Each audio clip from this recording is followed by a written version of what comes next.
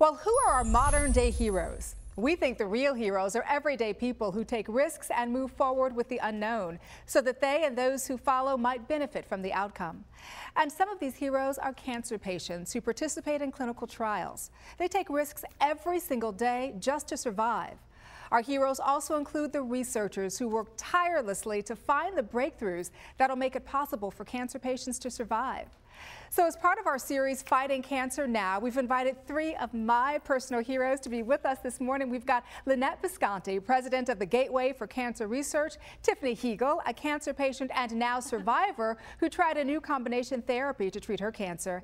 And we're also welcoming to the show this morning Dr. Edward Lin from the Fred Hutchinson Cancer Center at the University of Washington. Good morning to all of you. Good morning. Good morning. Good to see you this morning. Lynette, I do want to begin with you this morning because I want to know a little bit more about the research that the Gateway funds and why you decided to fund this particular trial. Well, the Gateway for Cancer Research funds cancer research all over the world at leading institutions that answers one of three questions or all of the questions. Does it help a cancer patient feel better, live longer, or be cured today? And at Gateway, when you donate to us, 99 cents of every dollar that we receive goes directly to cancer research. Mm -hmm. The reason that we liked Dr. Lin's study so much is because Dr. Lin thought outside the box. He paid attention to what his patients were telling him and what they needed, and he designed a clinical trial that is helping Tiffany feel better and live longer. You know, Tiffany, I, am so taken with you because you've been smiling and so up and just happy, you know, which I think is wonderful, especially given what you've gone through. I do want to know a little bit about your experience. Tell us about your diagnosis. It was colon cancer, It was right? colon cancer at 33, which was young with absolutely no family history of any kind. Um, had a three-year-old, a six-year-old at home. Uh, had three surgeries. I've had I had three occurrences of that, um, and at the third time, after having gone through all the therapies that kind of were the standards at sure. the time, mm -hmm. my local oncologist decided that it was time for a trip to MD Anderson to see what was going on that we didn't know about. Mm -hmm, mm -hmm. And, and so that's how I ended up as a patient of Dr. Lin's.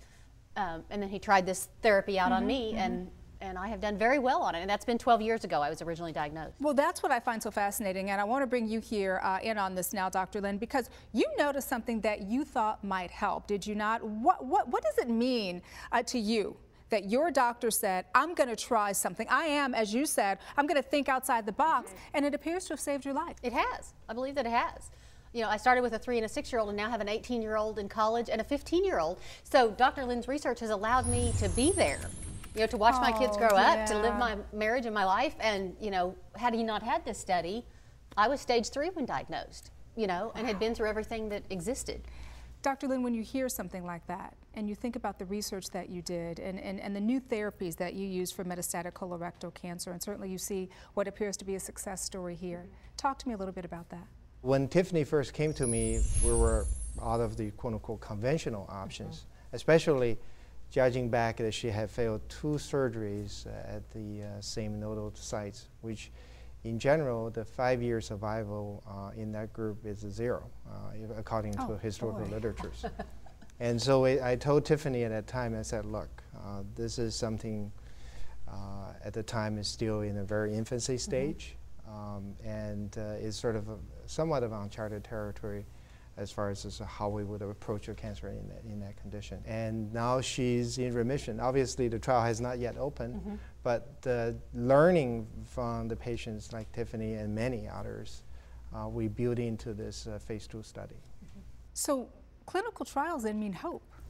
Do they mm. not? Yes, yeah. they do. You know, it's interesting, and I was sharing this with you all. Sometimes when I go to the doctor, I think, oh boy, he doesn't know what I'm going through. He has no idea. And, and then I read uh -huh. that uh-huh. you have a personal connection to cancer, and then you told your kids something important. Would you mind sharing that with us this morning? Yeah, um, you know, my dad has uh, also had colorectal he cancer. Did. Yeah, when he's uh, in their, his 70s, and he went through a very horrendous chemotherapy. Almost died mm. uh, from the chemotherapy treatment. And so I made it a personal mission when I went through my residency and fellowship, and sort of picked the GI cancer as my field of uh, research focus.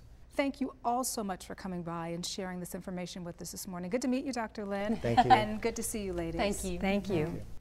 And clearly, with a serious illness like cancer, it's important to know all of your treatment options. If you want more information about the latest cancer research, simply go to the website demandcures.org. And next on our series, we'll tell you some exciting ways you can become personally involved in the fight against cancer.